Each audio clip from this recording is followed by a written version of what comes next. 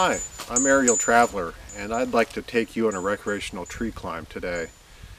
Uh, we're in southeastern Ohio and it's a uh, kind of an overcast day today. It's about 30 degrees. Uh, I'd like to try to climb this uh, moderate sized white oak behind me.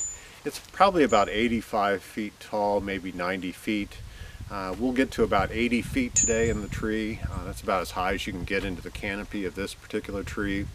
But not only do I want to take you on a tree climb and show you the canopy and the view from the top of this tree, but I'd like to show you uh, the rope wrench system that I'm using and the setup uh, to see if it's something that you might want to consider for your recreational tree climbing kit. Uh, the rope wrench system uh, is really versatile because it allows you to transform a lot of your doubled rope uh, equipment uh, into a single rope system uh, that's very efficient and you can turn it into a rope walker system uh, that allows you to walk up the rope uh, using your leg muscles and not really relying on your arms and hands so much to pull yourself up the rope. With all that being said, uh, come with me. Let's go for a tree climb. Uh, today I'm going to uh, ascend a rope using the rope wrench the rope wrench uh, utilizes a lot of components that are typical in a doubled rope system. Um, my rope wrench setup uh, here is using Yale Bandit rope. I have a 8 millimeter uh, Bee Line hitch cord uh, and the fixed tether from uh, Rope Logic. The uh, singing tree rope wrench uh, was invented uh, a good while ago um, and it allows you to ascend and descend on a rope, a single rope, uh, utilizing just a hitch. Uh, typically if you attempted to ascend and descend a rope uh, with just a hitch without the rope wrench, uh, you would uh, bind up here at the hitch to the point where you wouldn't be able to come up and go down. So uh, the rope wrench uh, uses or applies friction uh, and bends the rope here right above the hitch. that little bend allows you to ascend and descend on a hitch very nicely. And uh, you can set this up in all different kinds of ways. There's all different pulleys that you can use. Uh, I'm using the hitch climber pulley today, but it's really personal preference. You could use the Pinto pulley. Uh, ISC actually sells a uh, pulley uh, to be used with the rope wrench. Uh, one thing I should point out here is that the tether, this piece right here, is fairly stiff and uh, that is necessary to use the uh, rope wrench. Uh, the tether has two eyes here, just like the uh, friction hitch cord that I'm using. Now I've chosen to install the tether independent of the hitch cord um, and that allows you to switch back over to doubled rope very easily. Um, you can put the tether eyes and the friction hitch eyes on one carabiner, but it uh, really crowds the carabiner, and personally I don't uh, prefer that method, but a lot of climbers use that and it works very well for them. Uh, using a Rock O carabiner like this separately uh, for the uh, tether um, really does allow you to um, unhook the system very quickly in the tree and uh, turn it into a doubled rope system that a lot of climbers are familiar with. Um, this is a little bit sloppy using a carabiner to attach the tether uh, to the hitch climber like this in that top hole. A lot of climbers have uh, used uh, a much more compact uh, system that's not quite as sloppy to attach that tether. Uh, sometimes they'll use uh, two washers and a slick pin through there or some type of uh, uh, agricultural type connector uh, like from Tractor Supply or Rural King uh, department stores. Uh, I'm just utilizing the carabiner because that's what I have in my bag today and it seems to work pretty good. it flops around a little bit but as you can see it's it's really easy to take the tether off and detach it all the way um, from the system and then um, you're just left with the uh, hitch, the hitch climber, uh, pulley, and the uh, carabiner here at the bottom. Now if you had tried to uh, ascend and descend on just this, uh, this hitch would really bind up very uh, tightly and it really wouldn't allow you to advance the hitch up or descend on the hitch. That's where the friction from the rope wrench uh, really comes into play and uh, allows you to go up and down on the rope uh, utilizing uh, the friction hitch and the rope wrench. So let me install the rope wrench here real quickly for you. It's got a little slick pin on there. Uh, you can see it's captured and uh, you can drop that but it stays there for the most part. Um, and so you can put that onto the rope and uh, push that through if you can get it. Okay. And then um, you can attach these two tether eyes uh, to the hitch climber. And this is where a lot of climbers have gotten creative and devised something very uh, compact to tether that to the uh, uh hitch climber. I'm just of course using another Rock O carabiner. It seems to work okay. You could certainly dial that in and uh, get rid of most of that carabiner and use a different connector there. But uh, that setup does allow you to advance on a single line using just a hitch and the uh, rope wrench of course applies just a little bit of friction there at the top. I wanted to provide you a, a glimpse of the equipment installed on the rope uh, so you can kind of see how it's all configured uh, without me being in the way. Uh, at the heart here is the rope wrench uh, with the hitch climber pulley, uh, the stiff tether, and the hitch cord. You can use whatever uh, friction hitch you like. I won't get into that. There's plenty of videos on that already. Um, down here at the bottom, I have my foot ascender. This is an old CMI foot ascender. Uh, there's different options available that are smaller and lighter. Um, that gives me a step for my right foot. And then uh, the knee ascender here is in the middle. Uh, that has a uh, foot loop uh, for my left foot. It gives me a step for my left foot.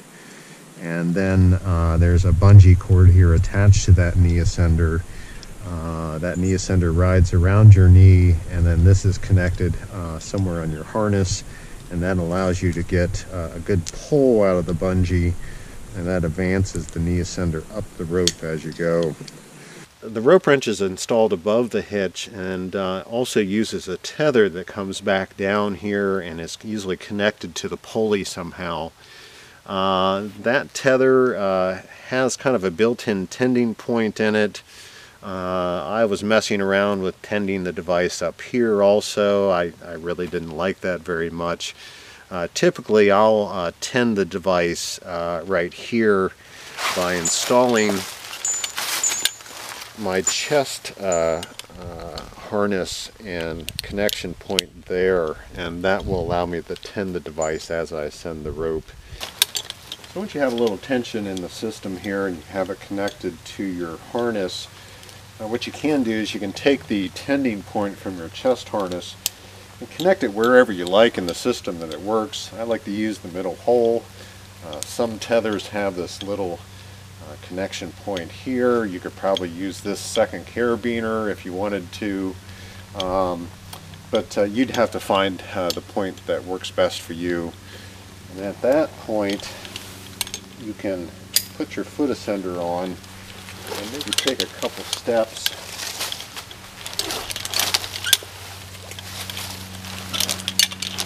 and get in and onto the rope. Now, the next thing I like to do is install my, my knee ascender.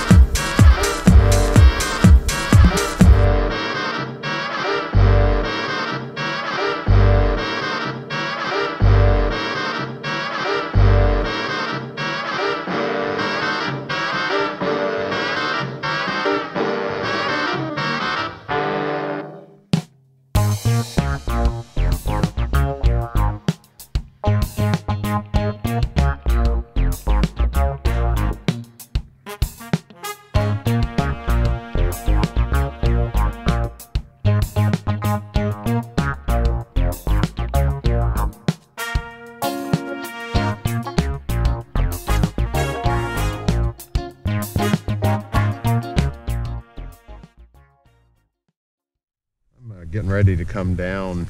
Uh, I have this redirect that I'm going to take out uh, that'll slack this original uh, SRT uh, system uh, that I have redirected from below and I'll descend a little bit on this doubled rope system and get back to that original tie-in point and then lower myself to the ground from there. So let's work on doing that. It's getting a little chilly up here.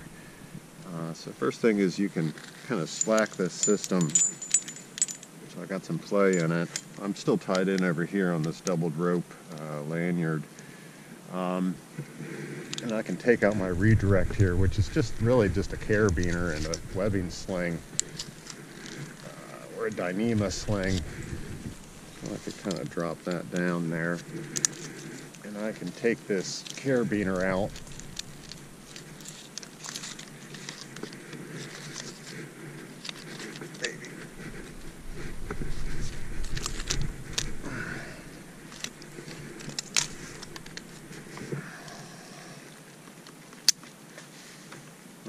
that on my saddle here.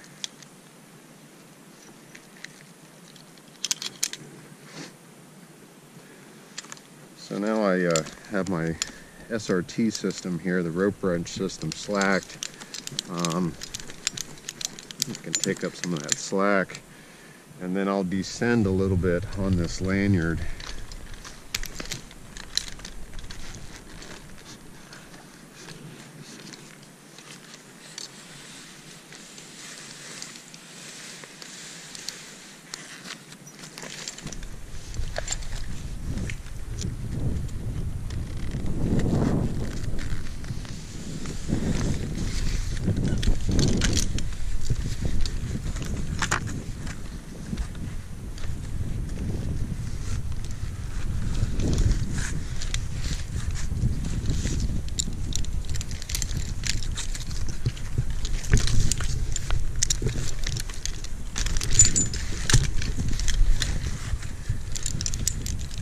Here's my SRT system.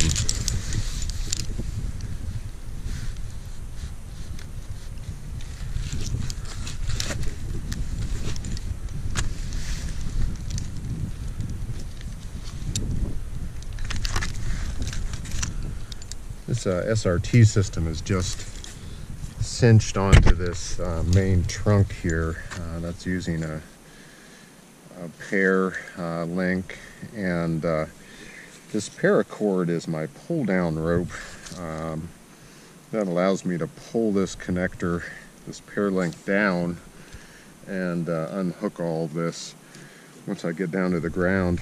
Now, you can sometimes have trouble pulling these uh, cinched anchors out, especially if you set it extremely tight. If you set this cinched anchor extremely tight like this, um, sometimes it's really difficult to pull it down using this thin paracord. If you set this just a little loose, which kind of seems counterintuitive, um, but that will allow you to pull it down a little bit easier once you get down onto the ground. If you have it cinched real tight, sometimes you can't really break uh, the friction like you want to and uh, pull this down and then you wind up having to come up and loosen this. So we'll leave that kind of loose for now. Now we'll descend down here a little bit farther on this other lanyard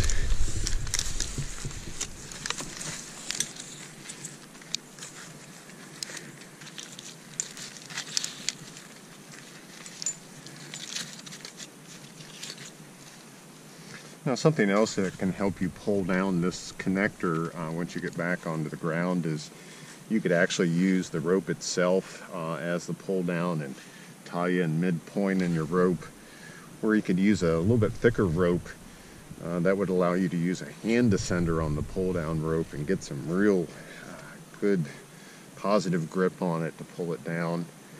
I like the paracord because I like to leave it uh, out in the tree.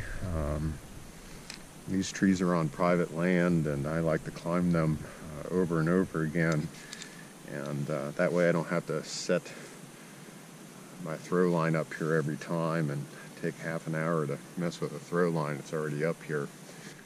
This doubled rope system uh, is slack now and I can start to think about pulling that out. My original tie-in point is this green rope and you can see that the cinched anchor tightened up a little bit, but it's not set incredibly tight on the trunk, and it's really not necessary to. As I put my weight in it, it will cinch up a little bit, but I want that kind of loose around the trunk that'll allow me to pull it down uh, from the ground. So uh, let me unhook this.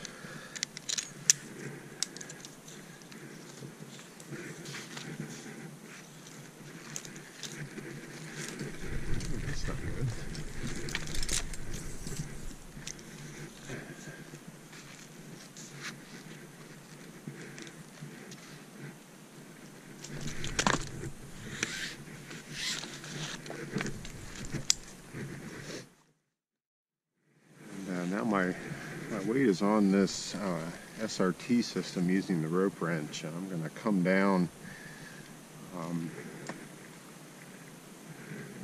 And that should allow me to get all the way to the ground. I can tell I'm going to get to the ground because that green rope is laying on the ground. Of course, when you descend, uh, you just need to massage the top of this knot and then keep your belay hand out here and uh, that controls how much rope is fed into the system from underneath and allows you to control the uh, rate of your descent. Um, the rope wrench of course is taking some of the friction off my hitch. Uh, if you tried to do this with just a hitch on a single rope without the rope wrench, uh, the hitch would bind really to the point where you wouldn't be able to move and you'd kind of be stuck.